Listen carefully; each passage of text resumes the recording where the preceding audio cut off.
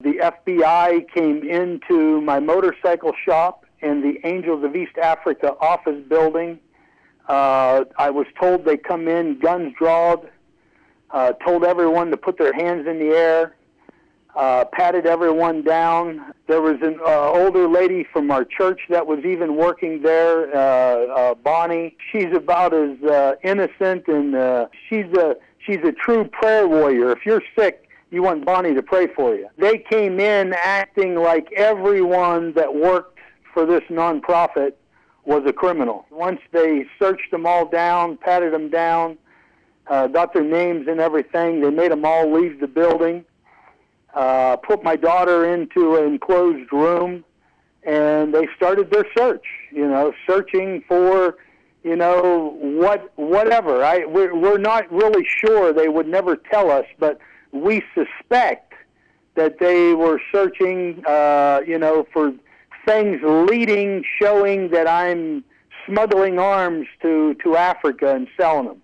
which is totally crazy. They actually hit the office building, my home, and warehouse all at the same time. They didn't do it separately. They they went to my home and uh, totally my my wife was home by herself.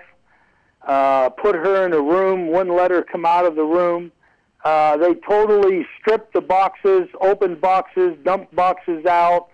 Uh, totally went through everything in a 40 foot container and also everything within the shop. There was other stuff in our warehouse that was even packed. I heard that a lot of it was destroyed because a lot of it got wet. So we had unbelievable amount of stuff is ruined in our warehouse.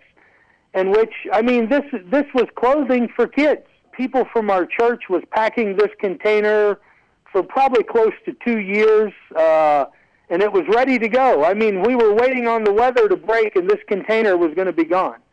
Uh, once they went through everything, they they basically said nothing here, and uh, shut the doors and left. What's so crazy is, you know, the rumor is that I that I was smuggling guns.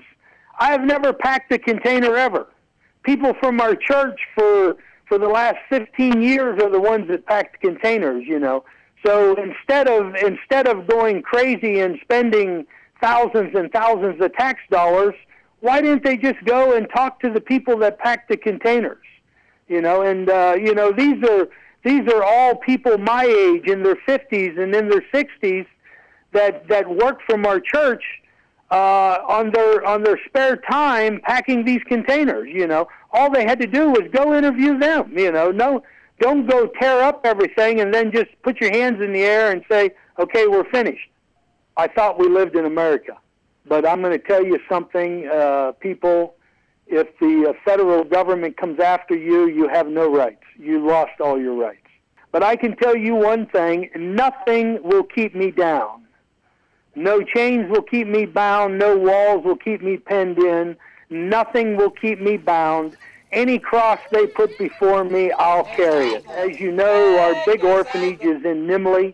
Thousands of children are orphaned once again uh, from the civil war that went on for many weeks in South Sudan. Uh, we took in about uh, 18 or 20 kids, and we have over double that on a list that we're still going through to make sure they are true orphans. We just pulled a child off the street of Kampala 11 year old boy that uh, came from Bor. His uh, his parents were killed right before his eyes.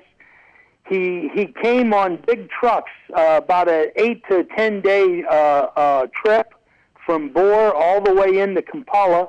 Was sleeping on the streets of Kampala for two weeks, just eating garbage. And we heard this story.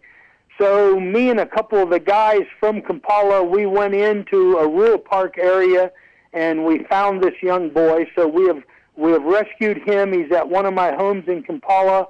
You know, South Sudan right now, the biggest thing that they need from all of us around the world is prayer. There's still people going hungry. Even though they're in a refugee camp, they could be safe from the civil war, but they're still not safe from disease or starvation.